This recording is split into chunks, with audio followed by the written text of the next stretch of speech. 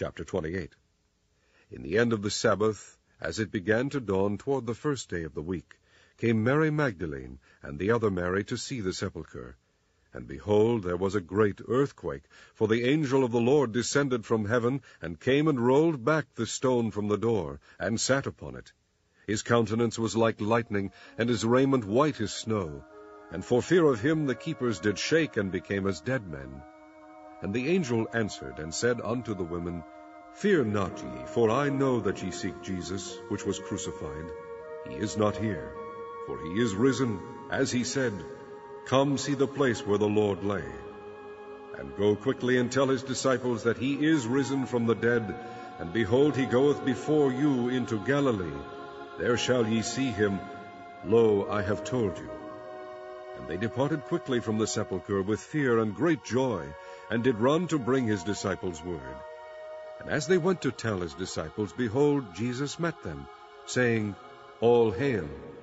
And they came and held him by the feet and worshipped him. Then said Jesus unto them, Be not afraid. Go tell my brethren that they go into Galilee, and there shall they see me.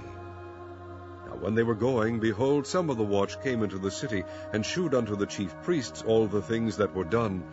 And when they were assembled with the elders, and had taken counsel, they gave large money unto the soldiers, saying, Say ye, his disciples came by night, and stole him away while we slept.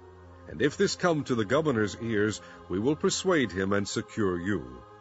So they took the money and did as they were taught, and this saying is commonly reported among the Jews until this day. Then the eleven disciples went away into Galilee, into a mountain where Jesus had appointed them. And when they saw him, they worshipped him, but some doubted. And Jesus came and spake unto them, saying, all power is given unto me in heaven and in earth.